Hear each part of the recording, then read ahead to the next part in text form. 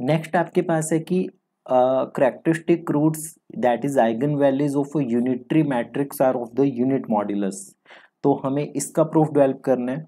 तो unitary matrix का मतलब क्या होगा? यूनिटरी मैट्रिक्स का सबसे पहले मीनिंग होगा कि ए स्टार इंटू ए किसके इक्वल आ जाए? आइडेंटिटी के इक्वल ऑर्थोगोनल मैट्रिक्स में क्या होता है कि ए ट्रांसपोज इंटू ए किसके इक्वल आ जाए? आइडेंटिटी के इक्वल तो यहाँ पे हमें गिवन क्या है कि ए यूनिटरी मैट्रिक्स है। मान लेते हैं कि लैमडा इसकी आइगन वैल्यू है। मान लेते हैं कि lambda be eigen value of A A की आइगन वैल्यू लैमडा है। हमें ये प्रूव करना है कि जो ये आइगन वैल्यू है, इसका जो मॉडुलस होगा वो वन होगा। ठीक है? तो सेम प्रोसीजर पे A X equal to lambda X लिखा हमने। फिर आपने ए एक्स का प्री मल्टीप्लाई वगैरह नहीं करेंगे हम इसमें। ए एक्स स्टार कंसिडर कर लिया दैट इज़ लैमडा एक्स का स्टार कंसिडर कर लिया। तो जब आप इसे सॉल्व करोगे तो ये बनेगा X star A star equal to lambda bar X star तो ये हमारे पास इक्वेशन नंबर टू ये बनी और इक्वेशन नंबर थ्री ये बनी। फ्रॉम टू एंड थ्री हमारे पास क्या आएगा? अगर हम टू और थ्री को मल्टीप्लाई कर दें ठीक है मतलब टू और थ्री को मल्टीप्लाई करें तो क्या बनेगा? X star into A star into A X equal to lambda bar X star into lambda X ठीक है?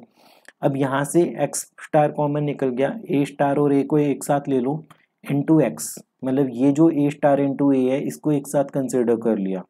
इक्वल टू ये किसके इक्वल है? Lambda bar into lambda X star into X के इक्वल ध्यान देने वाली बात यह कि इसकी वैल्यू किसके इक्वल होगी?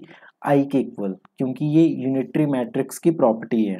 तो X star into I into X equal to lambda bar lambda X star X तो यहाँ पे आपके पास क्या बनेगा?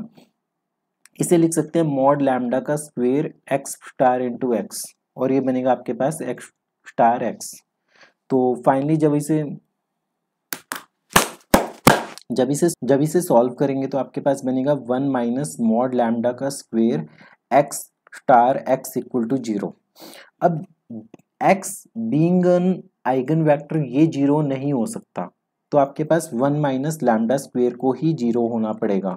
तो इसका मतलब मॉड लैमडा स्क्वेयर किसके इक्वल आ गया? वन के इक्वल और इसका मतलब मॉड लैमडा की वैल्यू किसके इक्वल आ गई? वन के इक्वल हैंस आप यहाँ पे लिख सकते हो कि eigen values of an orthogonal matrix, किसी भी ऑर्थोगनल मैट्रिक्स की या यूनिट्री मैट्रिक्स की जो आइगन वैल्यूज़ हैं, उनका यूनिट मॉड्यूलस होता है।